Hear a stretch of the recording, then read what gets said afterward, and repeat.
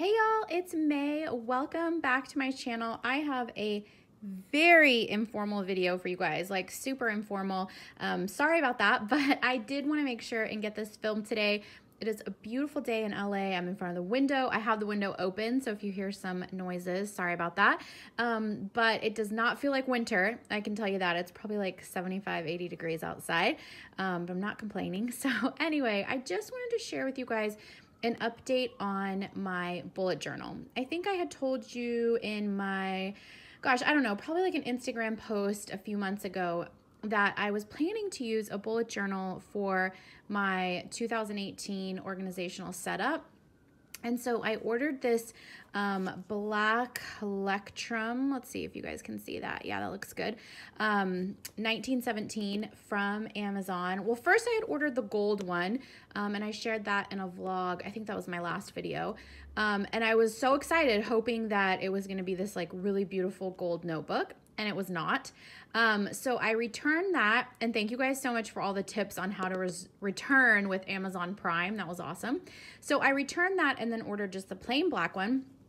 And it's a nice um, notebook. It's like $20 on um, Amazon Prime. I got the hardcover with the um, dots, and the notebook itself is nice but I'm just like not feeling bullet journals. It's been a while since I've used this format and I don't know, maybe it's just things have changed and I just just just not for me. Um, I don't know. I'm just I don't like it. That's all I can say right now. Um, maybe I need to change some things around. Also, I've said this before, but sometimes we just have to kind of change our planner systems, and planner peace may mean that um, we have to be okay with using different systems. So, let me kind of show you guys what I've been doing. Um, I do have a lot of things covered up in here just because, sorry, it's my planner and I can't share it with you guys, all, all the details of my life, but hopefully it'll give you a little bit of an idea. So I'm not gonna share my table of contents, but you can see that it does have that.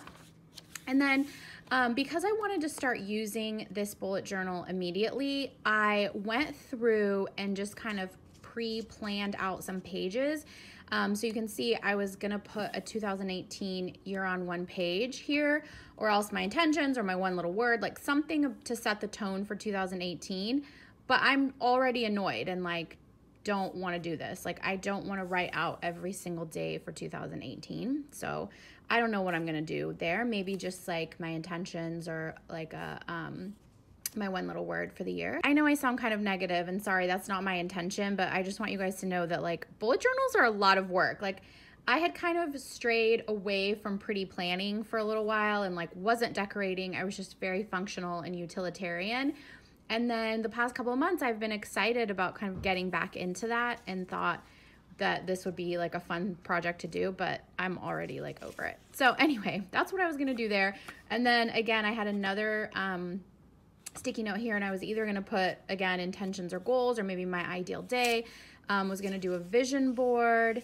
And then, okay, actually, let me show you guys this. You can see I started like trying to get creative on these pages and not that I'm like I'm not Amanda Rachel Doodles or anything like that. Like I'm not as creative as her, but I'd like to think that I'm like pretty creative and like can do like basic hand lettering and things like that. But the thing that stressed me out about this bullet journal was that if I messed something up to the point where I just really didn't like it and I had to take the pages out, the pages are pre-numbered. So like you can see here it went from 3 to nine because I was like not having it. Like I just did not like the way it looked and I had to rip them out.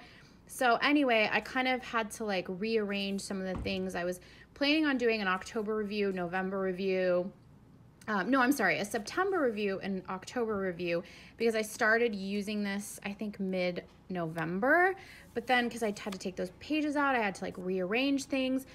Bullet journals just don't allow for a lot of forward planning or like it's just back to back to back. So you can't move things around. Like you've got to be okay with that. And I thought I was, but I'm realizing that I'm not. Like I need divided sections and I need to be able to move my pages around.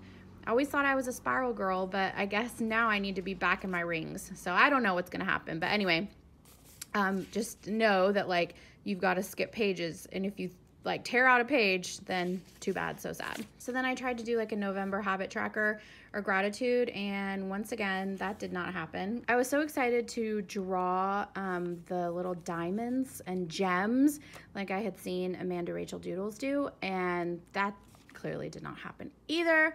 Um, my mood tracker, this is as far as I got. I wrote like two lines in mid November. That didn't. All right, I'm gonna skip this next page and then um, I created like a little spread for social.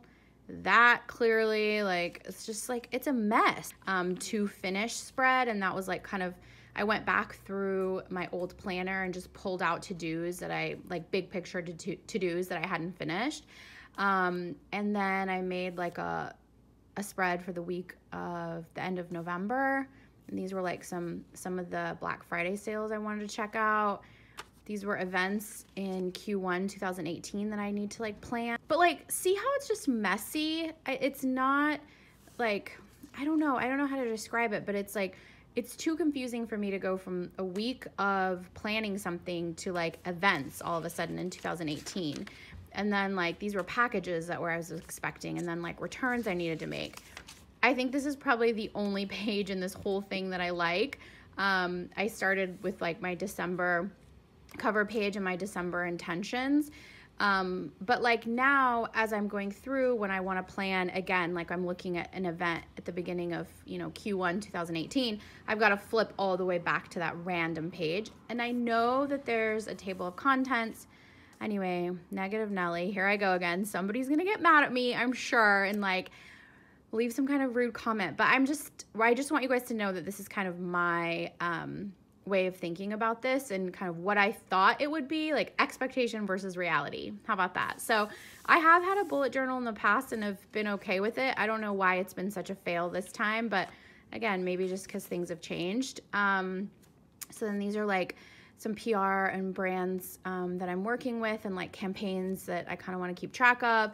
This was another weekly spread um, that again, just like random things. And then um, I wrote this quote up here that I like to count ingredients, not calories. So, and then this was just more like things, just random like brain dump that I was writing. And then here's this page of like books I wanted to read. And then for the weekend, what I needed to do. And then I'm giving a talk. And so I wanted to like brainstorm my talk. It's just like, and then I was watching a video on a candida cleanse. And so I was like writing down, you know, what the protocol is for that. And then the next page is like campaign platforms for like social media and PR. It's just a mess, you guys. I, I think it's just not um, working for me like I would have liked. Um, and I'm having a hard time with forward planning as well. Like I'm trying to get Q1 2018 planned and I can't um, do it in this properly. So I don't know. I think I'm going to give it a rest. I think I tried. I think I probably overwhelmed myself a little bit with trying to like decorate um, and get into pretty planning. I think I got so excited about um, Amanda's videos. So as of now, we only have a few weeks left of 2017 and I'm just gonna keep writing things out in here. I have a lot to finish before the end of the year. So um, I'm just gonna stay in this book and work in here and just kind of be as messy as I wanna be and not worry about um, it looking pretty or decorating or anything like that. And then I think for 2018, um, I'm actually going to move into this Erin Condren, which I never thought I would say. Um, but I like this because it has the monthly calendars already. So after the monthlies, it just has 52 pages of lists, like weekly lists that I can write out my to-dos. Um, I don't keep appointments or anything in here. So we'll see. If nothing else, this will be a nice um, planner to use for forward planning. Um, and then maybe I'll still use this bullet journal in conjunction with it. Um, I don't know exactly yet. I'm not going to film a 2018 setup obviously yet because I want to kind of work these kinks out. Um, and then once I have a better idea, maybe mid-January or end of January, I will film that for you guys. But I did want to show you this bullet journal update.